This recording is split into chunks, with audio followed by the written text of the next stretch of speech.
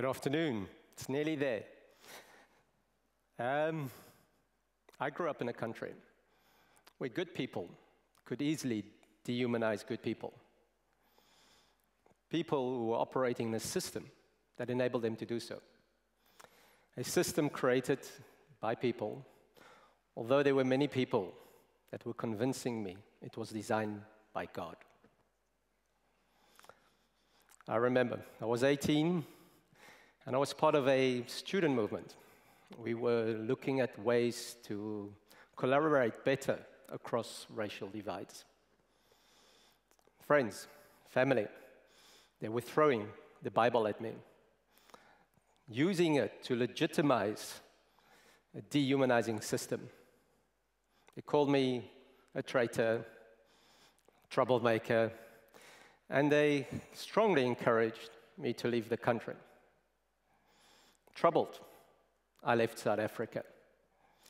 And I came to this beautiful city of Ghent to study psychology. Some would say to work at McDonald's.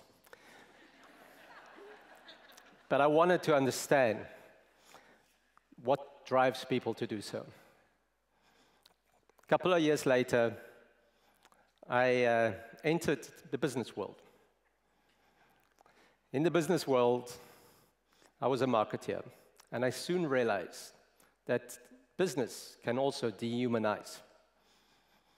The way we think of the consumer as a target, the way we think of the competition as the enemy, the way we think of the marketplace as a battleground. This all leads to us operating more at exploiting one another rather than creating value together. Could we not imagine another way of doing business? Could we not imagine unlocking more meaningful growth by humanizing business? On our adventure and exploration, we learned we could. But we had the help of the most amazing and most unlikely three mentors. And they were not the good, the bad, and the ugly. The first mentor that came to our rescue was the magician. We all magicians, by the way. The magician has the power to shift us from the world that is to a world that can be.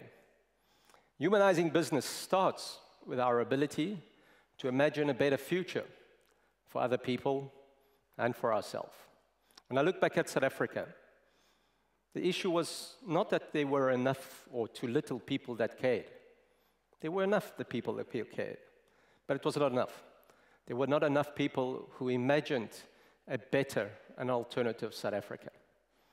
Luckily, we had some amazing man who, from his island, Robben Island, in his prison cell, could imagine a different South Africa, a multiracial democracy which he later rebranded to the Rainbow Nation, peace with itself and the rest of the world. Now, some people will say, hell, what's this got to do with business? So I'll bring it a little bit closer to business. A couple of years ago, we started a business in rural Africa, Benin, and uh, it was called the Baobab Express. It was initiated by two fantastic people. Fried Vancraen, CEO of Materialise, a company that provides 3D printing guides and software and engineering support to surgeons all over the world. And Chris Van was heading a NGO that was running several hospitals in Benin. So together, these caring people thought, okay, let's do something for doctors in the hospitals that Chris was running so that they do better operations. Great. They were good at that. They, they did care, but they did something even greater. They started looking around and realized that in Benin, they have a bigger problem. Maybe I should just show a film to let you see.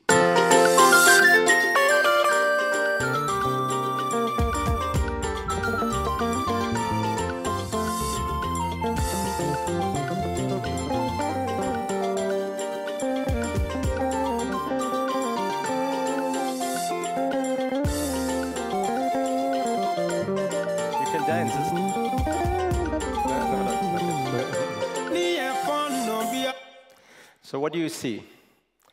You see that in Benin, it was more dangerous to get to the hospital than to have an operation. So Chris and Fred called upon friends and partners, and they challenged us.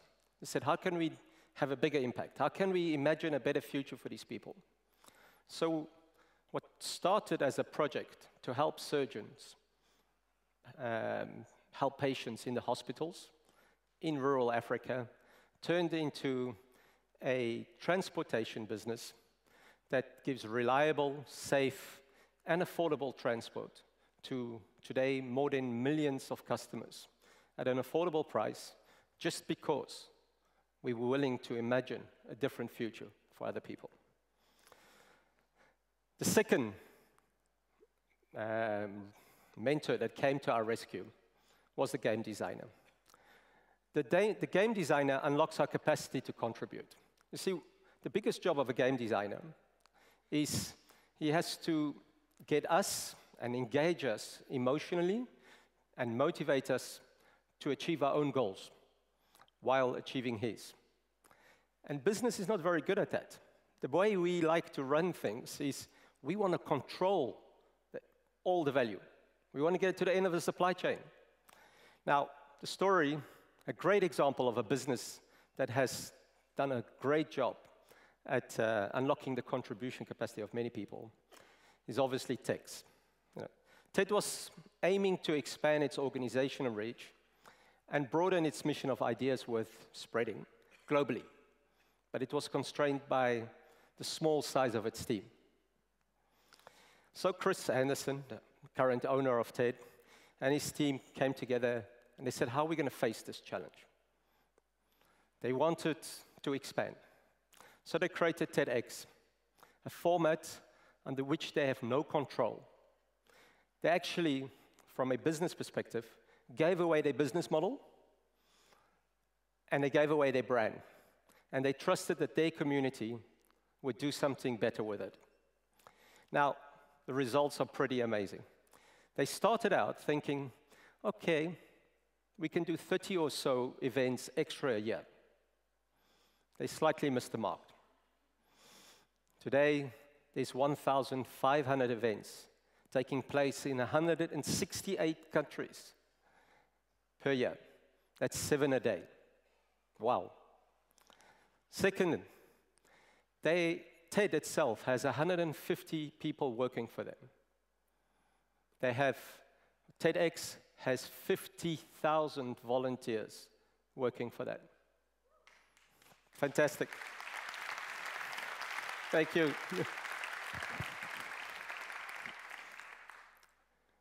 what TED gets out of it, they've collected 65,000 highly curated, brilliant speeches that we've seen today. More than 2 billion people have watched that. I think that deserves a real hand of applause.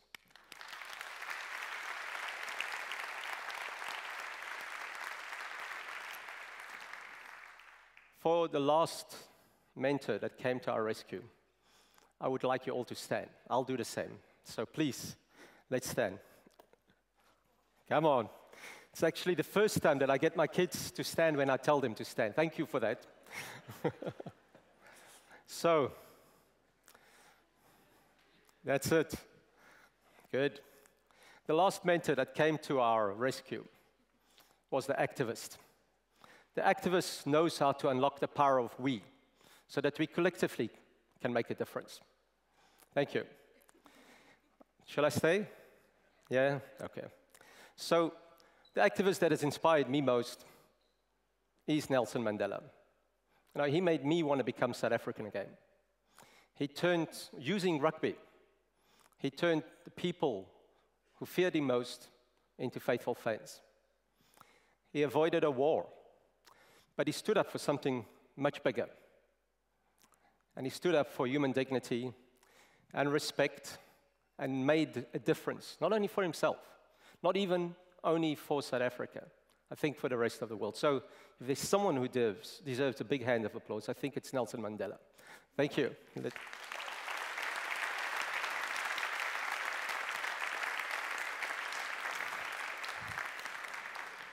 So to finish, or close to the finish, thank you. People will say, what the heck has that got to do with humanizing business? You know, this guy's lost it. We may be in a church, but no. Business can also position and operate to serve something bigger than ourselves, not just the consumer. A great company that has done that so is Ben & Jerry's. I love working with these guys. They redefine themselves as a social justice brand, serving not consumers, but aspiring activists. They put their product, product like this, as an activist tool, letting people become more aware of climate injustice. I was with him, you know, when they gathered activists, aspiring activists, 26 from, what, from 26 different countries in Paris, in COP21, to go and put some pressure on our world leaders to do the right thing. This is how they told the story. This is what happens when ice cream is just two degrees warmer than it should be. For Ben & Jerry's, it's a mess. For the planet, it's a metaphor because a two degree warming of our planet's climate would have an equally dramatic, though much more significant, impact. But we can prevent it. If we take action and demand that governments, policymakers, and business leaders do what it takes to stay below two degrees, we can reverse the trend of climate change. By acting now, we'll create innovative solutions that keep our planet and those who live on it thriving. Because while a two degree change may not seem like much, the truth is, it means the world to us. Join the global climate movement and take action now at benjerry.com slash climate.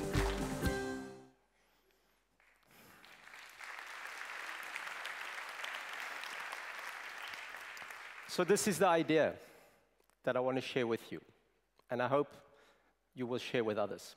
Yes, we can imagine a different way of doing business. Yes, we can unlock more meaningful growth by humanizing business. But it starts with us not accepting to be the victim of the dehumanizing system.